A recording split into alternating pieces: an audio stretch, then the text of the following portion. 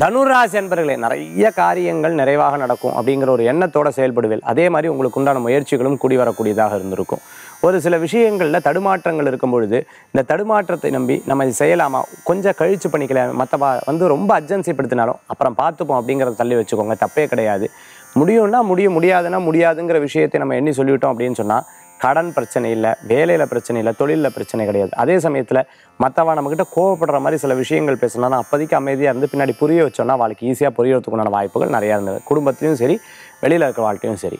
உத்தியோக விஷயத்தில் இருக்கக்கூடிய தடுமாற்றங்கள் சரியாயிடும். கவலையப்படாதீங்க எண்ணிய காரியங்கள் வெற்றி அடையும். தனுராசி என்பவர்களுக்கு இன்றைய தினத்துக்குண்டான அதிர்ஷ்டமான எண் நான்கு நிறம் ரோஸ். வழிபாட்டுக்குண்டான தெய்வம் காளி வழிபாடு வெற்றி வழிபாடு.